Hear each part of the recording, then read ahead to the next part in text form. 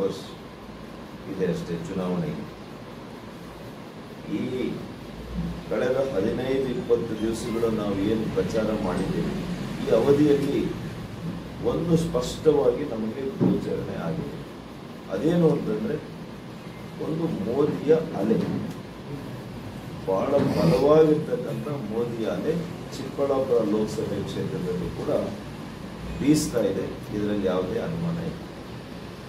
ಅದೇ ರೀತಿ ಕಾಂಗ್ರೆಸ್ಗೆ ಆಡಳಿತ ವಿರೋಧಿ ಅಲೆ ಕೂಡ ನಮಗೆ ಕಾಣಿಸ್ತಾ ಇದೆ.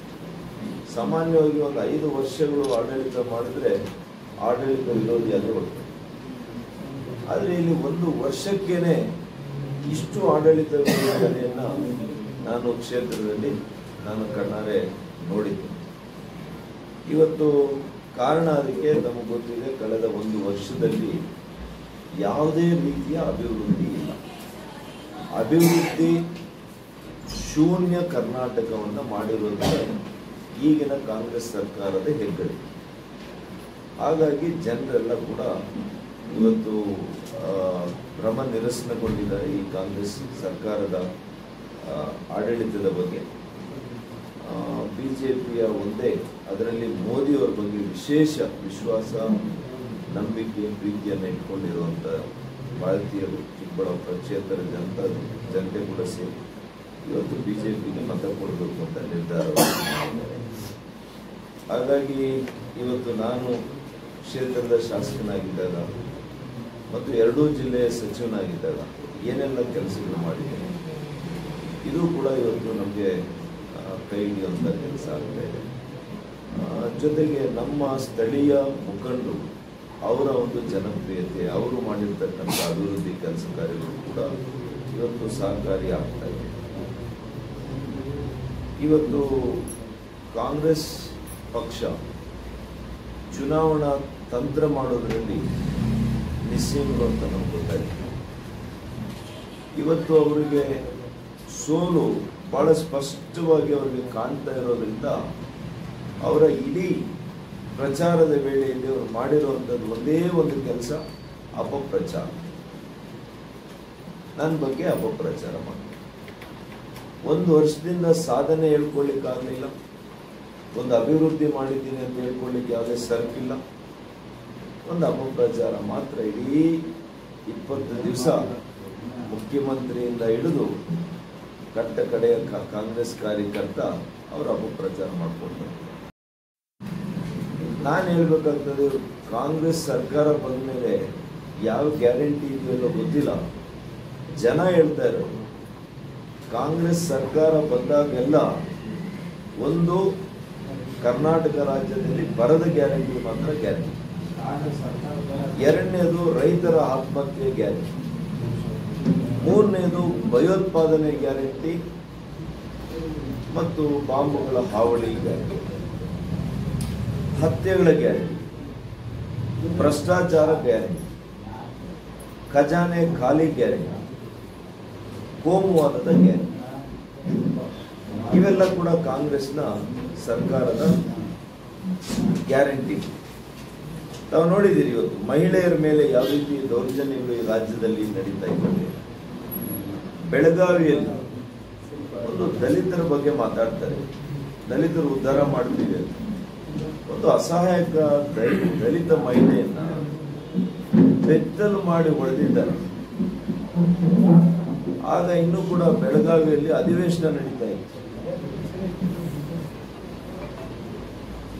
ಹಾನಗಲ್ನಲ್ಲಿ ಮಹಿಳೆ ಮೇಲೆ ಸಾಮೂಹಿಕ ಅತ್ಯಾಚಾರ ಆಯಿತು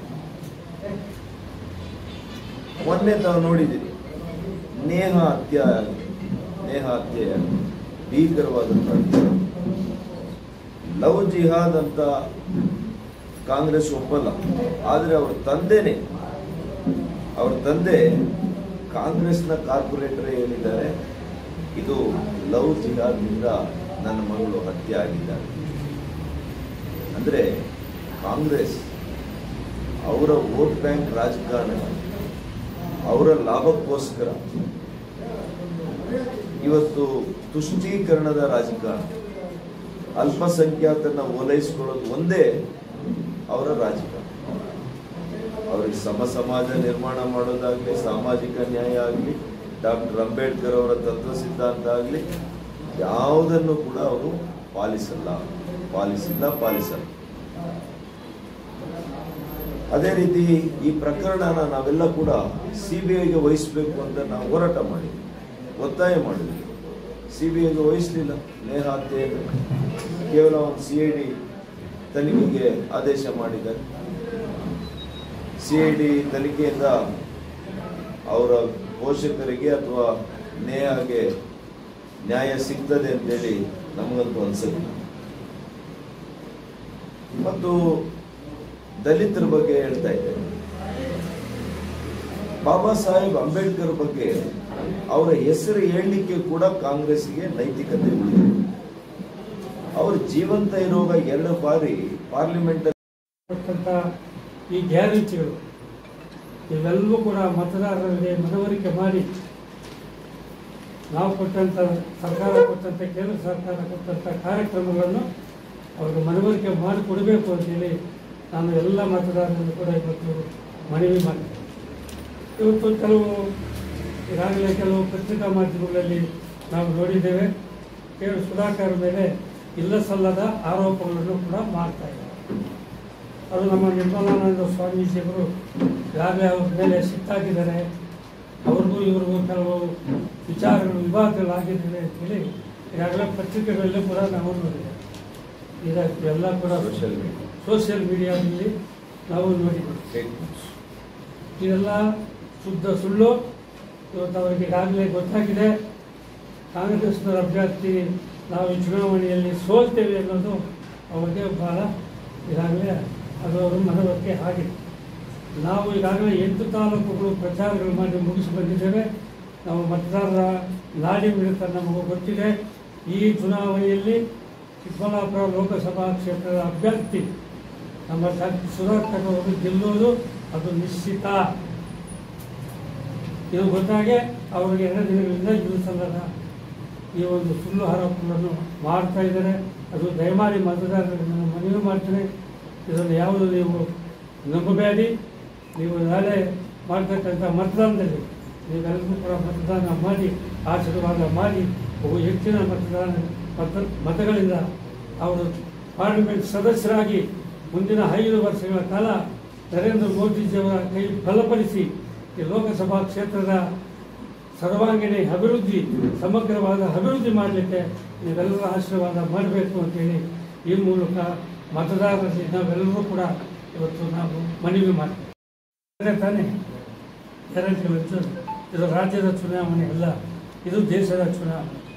ಈಗ ಎಲ್ಲ ಸಮೀಕ್ಷೆಗಳಲ್ಲಿ ಕೂಡ ನರೇಂದ್ರ ಮೋದಿಜಿಯವರು ನಾನೂರು ಬಾರ್, ಚಾರ್ ಸೌ ಬಾರ್ ಇಂದ ಗೆಲ್ಲೋದು ನಿಶ್ಚಿತ ಅಂತೀನಿ. ಈಗಾಗಲೇ ಎಲ್ಲ ಸಮೀಕ್ಷೆಗಳು ಮಾಡಿದಂಥ ಹತ್ತಾರು ಸಮೀಕ್ಷೆಗಳಲ್ಲಿ ಕೂಡ ಇವತ್ತು ವರದಿ ಕೊಟ್ಟಿದ್ದಾರೆ.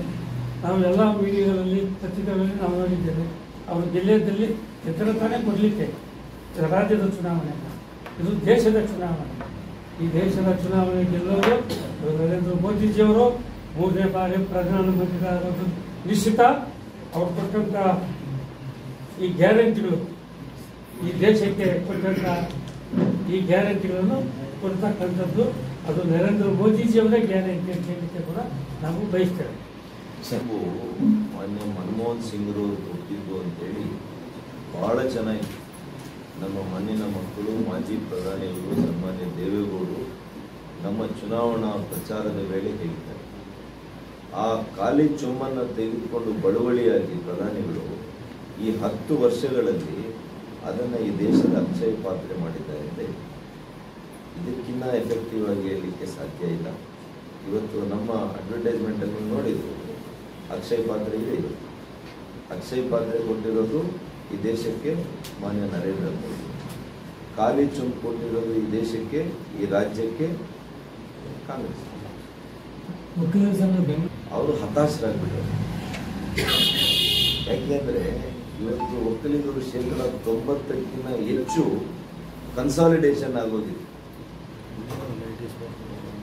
ರೈತರು, ಒಬ್ಬ ರೈತನ ಮಗ ಇವತ್ತು ದೀನದಲಿತರು ಹಿಂದುಳಿದ ವರ್ಗಗಳ ಮತ್ತು ಯುವಕರು, ಮಹಿಳೆಯರು, ಮೊದಲು ಅವರಿಗೆ ಮೋದಿ ಅಂತ ಬಂದ ಮೋದಿಯವರ ಅಭಿವೃದ್ಧಿಯನ್ನು ನೋಡಿ ಮೆಚ್ಚಿದ್ದಾರೆ ಅದಾದಮೇಲೆ ಇವತ್ತು ಸುಧಾಕರ್ ಕೂಡ ಒಳ್ಳೆ ಕೆಲಸಗಾರ, ಒಳ್ಳೆ ಆಡಳಿತಗಾರ ಅಂತ. ಇವತ್ತು ನನಗೂ ಕೂಡ ಅವರು ಇವತ್ತು ಆಶೀರ್ವಾದ ಮಾಡ್ತಾರೆ. ಭ್ರಮನೆರೆಸಿಕೊಂಡು ನಿರಾಸೆಯಾಗಿ ಇವತ್ತು ಈ ರೀತಿಯ ಕೀಳು ಮಟ್ಟದ ರಾಜಕಾರಣವನ್ನು ಮಾಡಲಿಕ್ಕೆ ಹೊರಟಿದ್ದಾರೆ. ಜನ ನೀವು ಅದಕ್ಕೆ ತಕ್ಕ ಉತ್ತರ ಕೊಡಬೇಕು ಅಂತೇಳಿ ನಾನು ಮನವಿಯನ್ನು ಮಾಡ್ತೀನಿ.